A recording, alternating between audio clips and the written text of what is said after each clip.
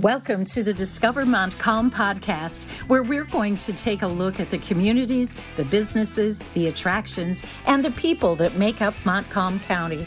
Here is your podcast host, Duane Weed. Hello, and welcome to this episode of Discover Montcalm. We're going to go back and we're going to look at the history of Greenville through a video that I produced back in 2004. I worked with Linda Collins and Elsie McNeil, and together we put together this short little history using some old photographs and a script that Elsie had written. For those of you that are listening to this, you can also catch the video of it on discovermontcalmpodcast.com. We also have a YouTube channel under the same name if you want to go and check out any of our past episodes. But on this one, you'll be able to see the video. It was a pleasure of mine to be able to work with the Flat River Historical Museum and to kind of document some of that history. The video was funded by the Greenville Area Foundation. I'd like to take this moment right now and thank Jody from Busy Bee for supporting this program. She provides these mugs, and if you come in as a guest, guess what? You get one of these mugs. But we also, more importantly, we get the opportunity to tell your story.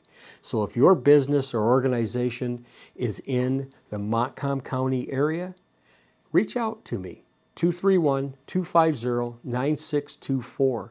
I'd love to set up a time to interview you. And if we could, maybe even come over to your business and we'll do a walking tour.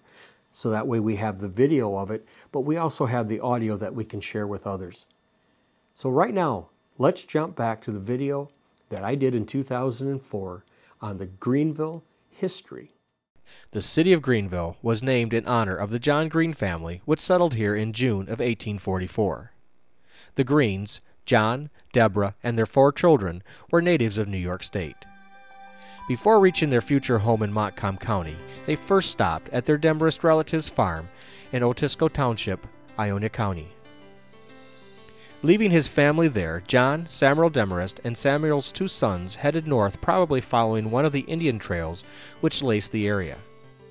Among the several trails, there were two prominent ones which intersected near the present Washington Street Bridge. One came from Ionia in the south, passed through the future Greenville, and continued north through the present Lakeview. The other trail came from Saginaw, after crossing the Flat River, it led past the Indian village, located on the western bend of the river, and went northward to Pentwater. The men selected a site east of the village to erect a shanty for shelter, then constructed a dam across the river and built a sawmill.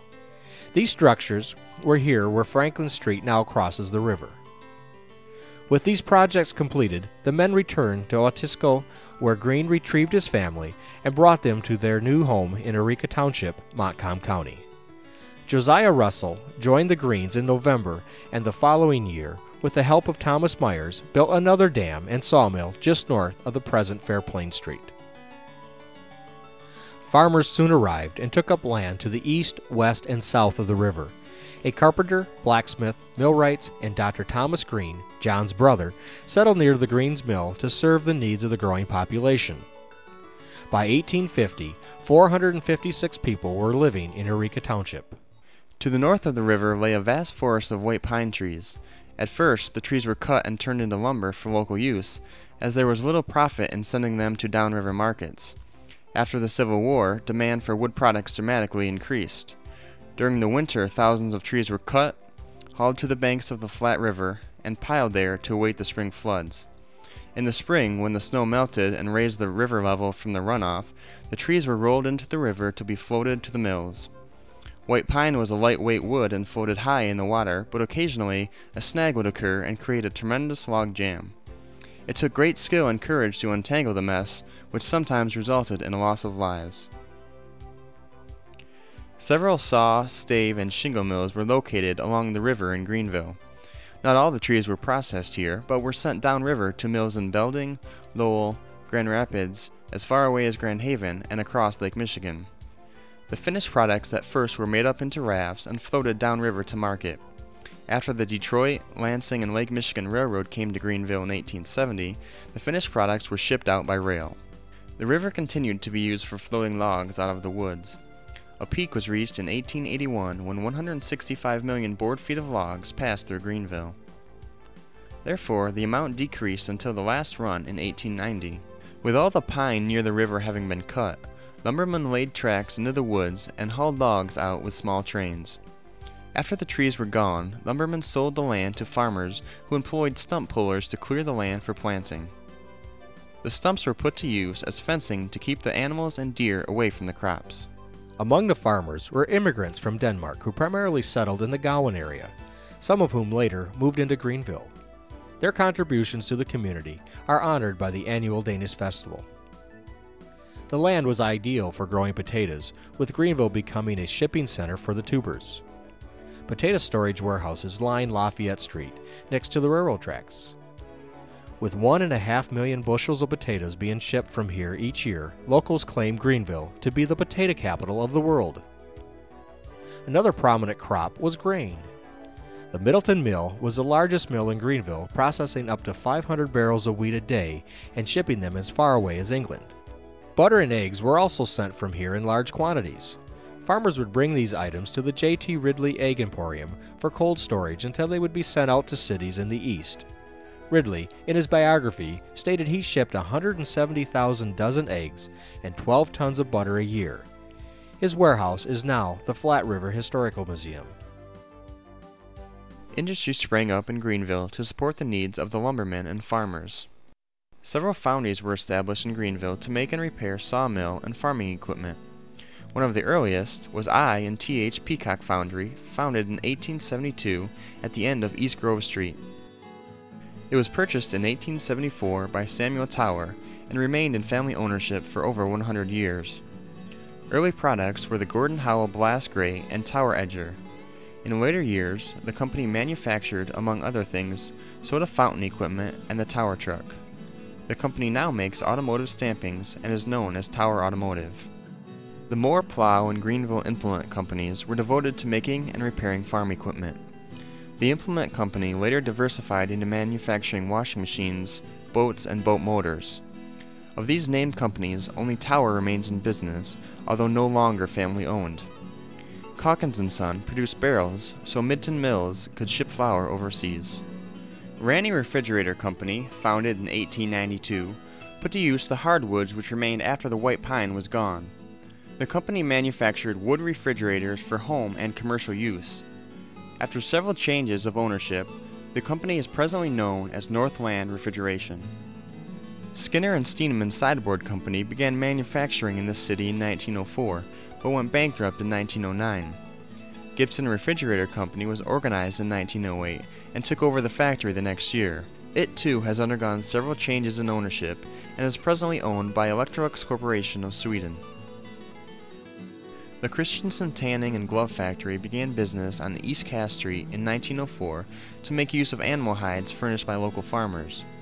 The company began a division of Wolverine worldwide in 1930 and no longer has a plant here. Francis O. Lindquist began manufacturing mortar garments in the Rutan block in the early 1900s. Known as the Man from Michigan, he changed his product line to men's and boys' wool suits, selling them through mail order. To sales, a premium of a free $1 Ingersoll watch was occasionally offered. He later moved the business to Grand Rapids. We hope you're enjoying our podcast, and we'll be back after we thank our sponsors. West Michigan Technology and Design Solutions, your IT and web hosting experts. WestMichiganHelpDesk.com. And DW Video, your source for video production, websites, and your local videotape, slides, and 8mm film transfer specialist. DWVideo.com. Now, back to our interview. In front of the Rutan building stood Greenville's first schoolhouse.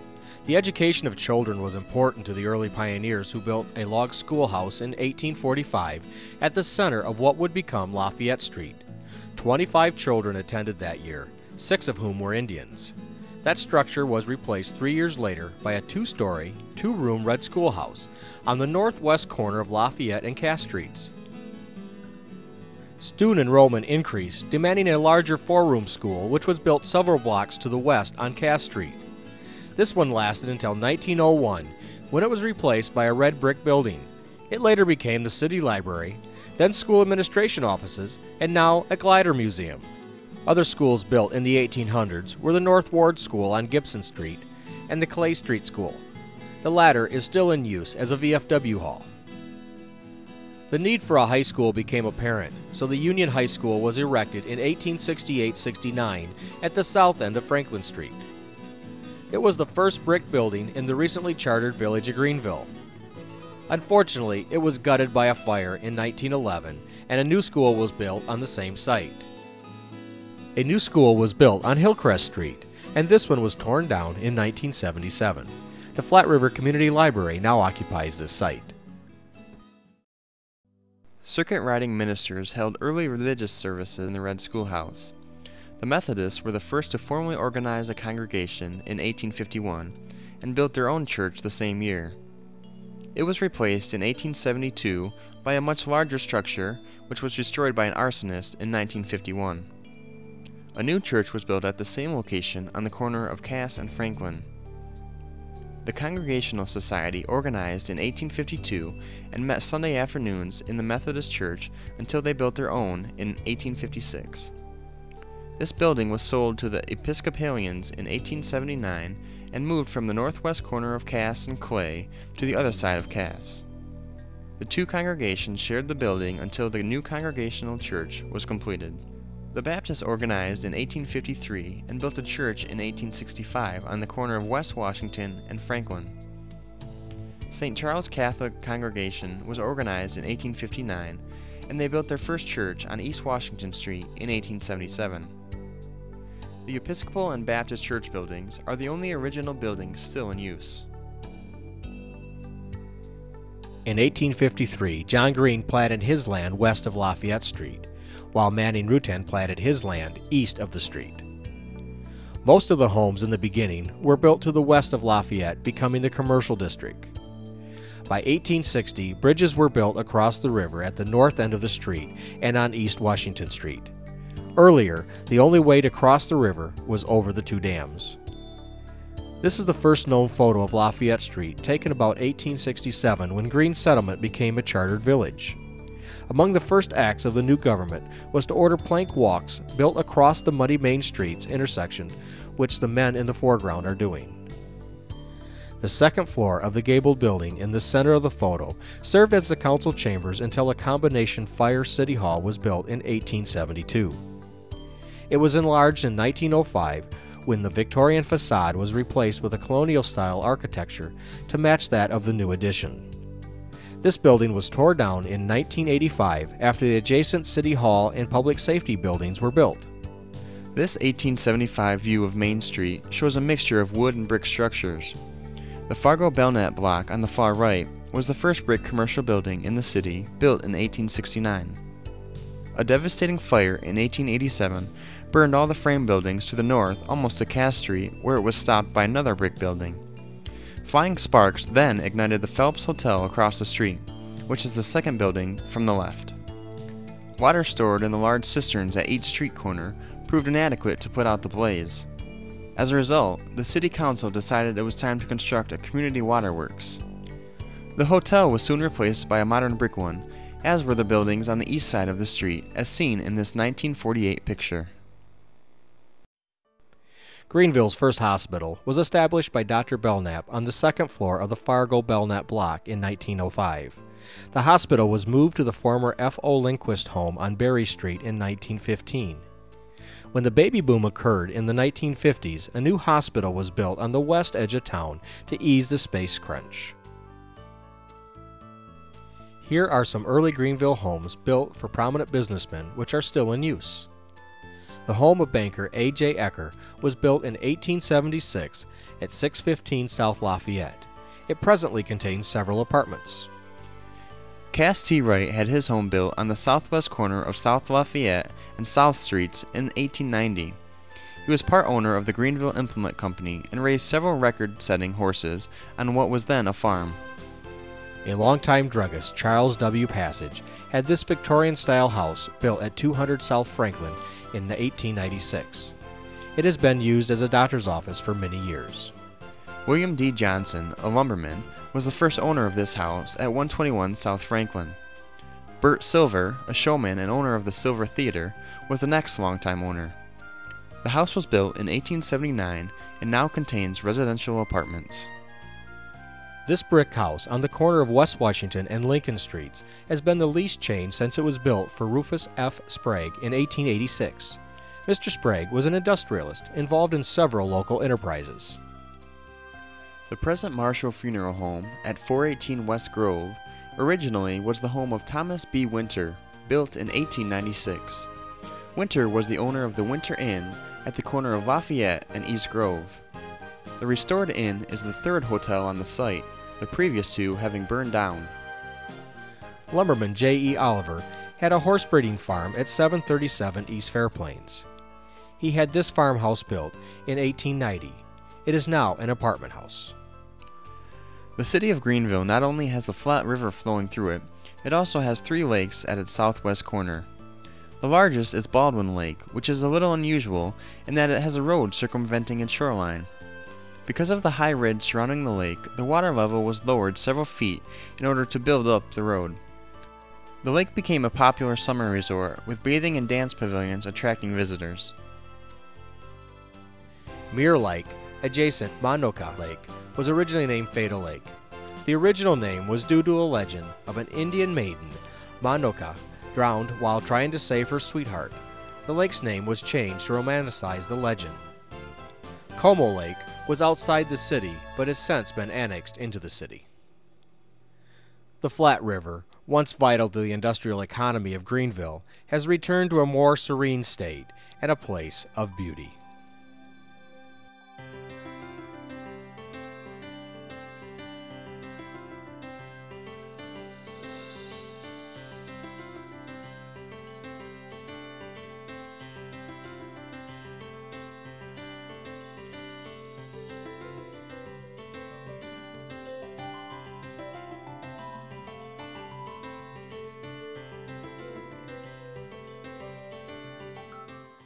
On behalf of the Flat River Historical Museum and myself, the Greenville Area Foundation, Busy Bee, we just like to say, remember to buy and shop locally. Connect and subscribe to Discover Montcalm Podcast at discovermontcalmpodcast.com.